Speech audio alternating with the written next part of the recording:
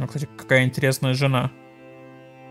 Прям как из Atomic Heart. Привет, друг. Буквально на днях вышел мод по Игре Престолов на третьих крестоносцев. Я люблю Игру Престолов. Нет, не последний сезон. Я даже читал книги, я играл в мод на вторых крестоносцев, так что пропустить такое событие я не мог. И я немного поиграл и решил поделиться своими впечатлениями. Но для начала надо ответить на важный вопрос. Можно ли поиграть в этот мод на русском языке? Я попробовал запустить мод на русском, но играть было некомфортно. Весь новый контент на английском, названия отображаются некорректно, так что если вы привыкли играть на русском, лучше дождаться какого-нибудь неофициального перевода. Но перейдем непосредственно к моду. Он пока готов не полностью.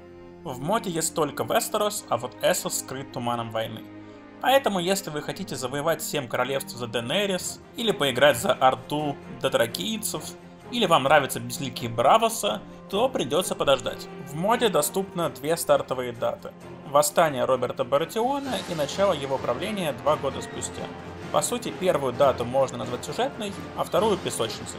Хотелось бы, конечно, больше, наверняка многим хочется переиграть события книги сериала, но создание стартовой даты — это огромная работа, на которую, видимо, у создателей мода пока что не хватило времени и энергии. Итак, Восстание Баратион.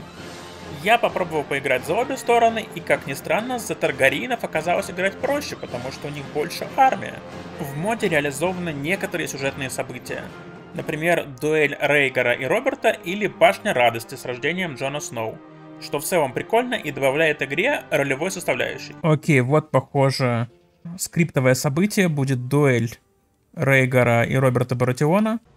Так, и вот это интересно. Рейгар в битве победил Роберта Баратиона. Прощай, Лорд Роберт. Да, мы видим, что Роберт умер. Теперь мятежников возгуляет Станис.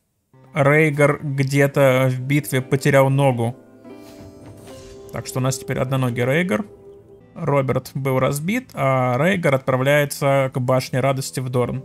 Так, и что, Шляна умирает, но она рождает Джона Сноу и мы его сделаем Таргарином, потому что мы выиграли, чего нам бояться. Да, и получается, мы переименовали Джона Сноу в Эмона Таргериена. Не знаю, почему так. Могу быть Джон Таргериен. Ведь понятное дело, что в такие моды люди играют, чтобы представить себе альтернативную реальность, в которой, допустим, Джон Сноу становится королем Вестероса.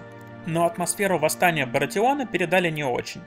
В теории лорды в этом моде могут выбирать, кого поддержать на войне, но на практике ничего такого не было, никто не менял сторону и никто не вступал в войну в последний момент. Однако были и очень крутые моменты. Например, реку Трезубец, которая разделяет речные земли, можно перейти в строго определенных местах. И это, во-первых, соответствует игровому миру, во-вторых, так просто интереснее. И в итоге, стоит ли играть в этот мод?